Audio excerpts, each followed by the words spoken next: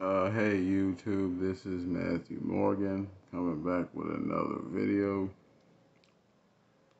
And this video has to do with people who say that they follow God and his teachings and people who say they follow Jesus and his ways. And I am referring to the Christians. Most indefinitely the Christians. Not all of y'all, but a good 5 or 10% of y'all. But anyway, and I have to talk about this Bible contradiction and how it makes God look like he's not stable in his wisdom. But anyway, first thing is first. If you are a Christian, that means you're supposed to resemble the Spirit of Christ or Jesus. Means you're supposed to love people, care about people, forgive people, not point fingers, not judge, learn to understand, learn to be compassionate, learn to be understanding. Now, I'm going to say this, and I said it in church already, because some older member had the nerve to say why people especially young people, don't come to the church. And I said, and I quote, first of all, people in the world see the way people in the church behave and they act, but they say they're supposed to be followers of God and His word and His ways. They say they're supposed to carry carry the spirit of Jesus. But from a worldly person's perspective, the church is not bettering no one. It's just making bigger sinners out of so called saved people.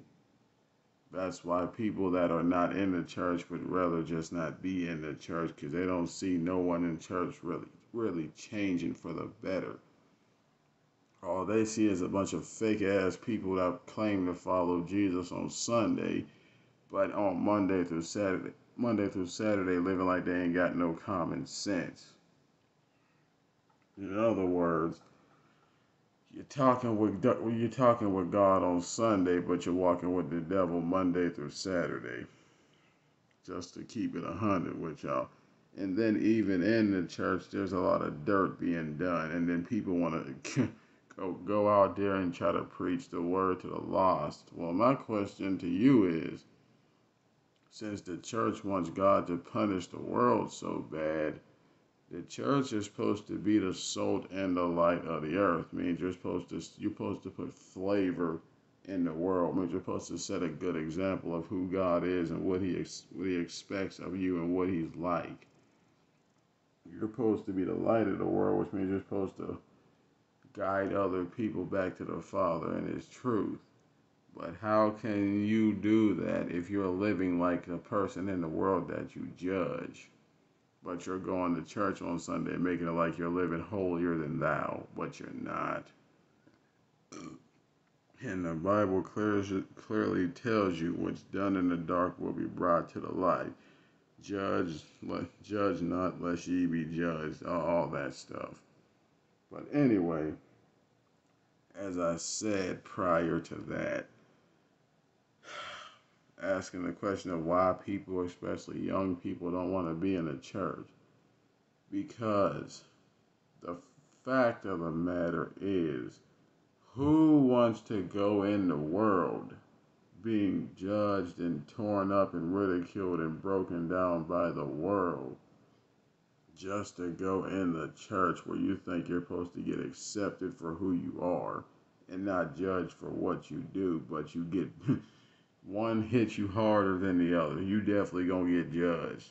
You definitely gonna get judged. That's just not something you can avoid. Church people are gonna judge you because they forget there was a point when they was doing very corrupt stuff, and most still do corrupt stuff in secret. But then they want to tithe and pray and read the Bible and act like God didn't just see what you did. But anyway. Nobody wants to come to the church because the church it preaches things that it don't practice. There's stuff in the religious sector that don't make no damn sense. It don't go together. It does not work. Period.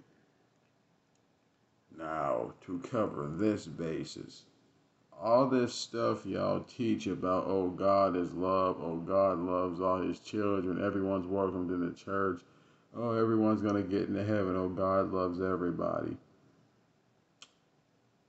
Then you say anyone can be in the church, anyone can get saved. Then you say, just to contradict you on your own bullshit, then you say God don't like the sin of homosexuality and those who practice it are going to hell. But then God's supposed to be eternal loving and eternal forgiving and eternal understanding. And he, as he says, he, he forgives 70 times 7, which is supposed to be eternally. But he don't forgive those who sin against him. He only forgives the Christian that follows him but he's supposed to love and forgive all his children, for all have fallen short of his expectation. But I guess that doesn't apply to the sinner who don't know better. It only applies to the Christian that does, apparently, whatever the case may be on that behalf. But anyway, telling a person that God loves them one minute when they're doing right then they slip up and then you say God's pissed at you because you messed up as a human who who's made to mess up and God made you so you could learn from your mistakes. One minute you're telling someone God's angry at them when they mess up, then he's cool with them when they do right. You make God sound very bipolar. How is it God is wise and angry? He's understanding, but he's pissed. He has eternal love, but he also has wrath. You can't put eternal love and wrath in the same thing in the same category. The shit don't fit. It's like oil and water. One has to cancel out the other. Either either God's eternally loving, he's eternally understanding, he's eternally forgiving, he sees all things, he knows all, he's everywhere at one time, or he has wrath and anger and punishes people. Which one is it? Make your damn mind up, because it can only be one or the other.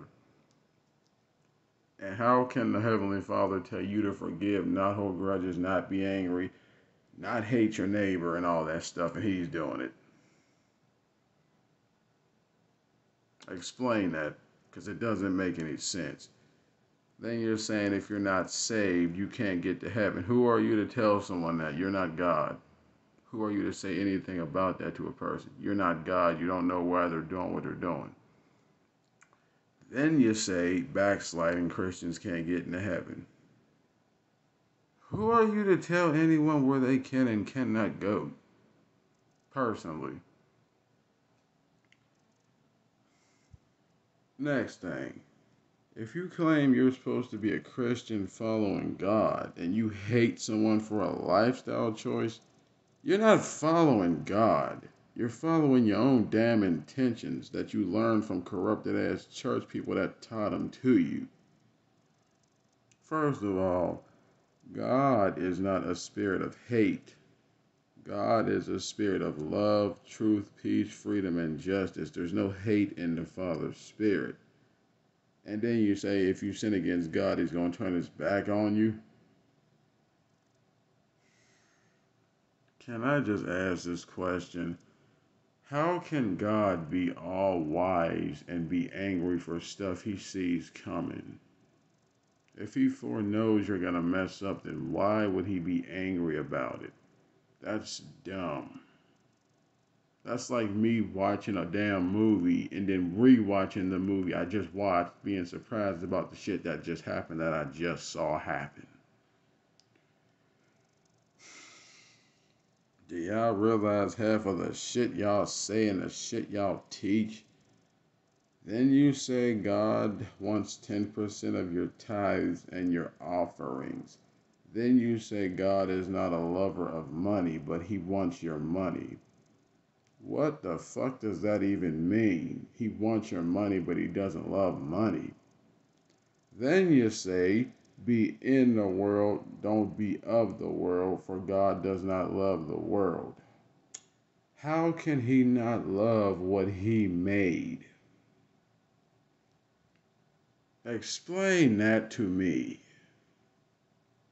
And if you believe God don't let this world, and it's called an earth, spell the word earth backwards. It spells heart. means what exists on this planet is God's heart.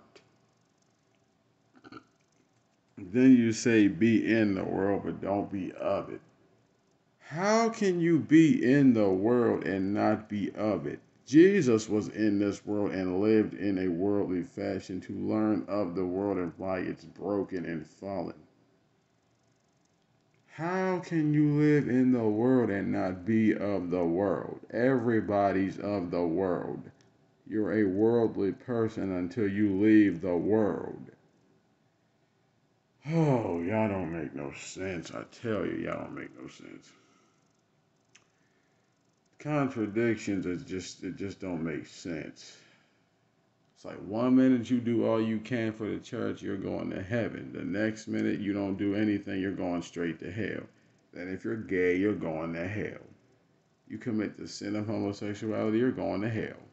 And my question to y'all is Christians of the African American community, why is it the only sin you condemn is gay?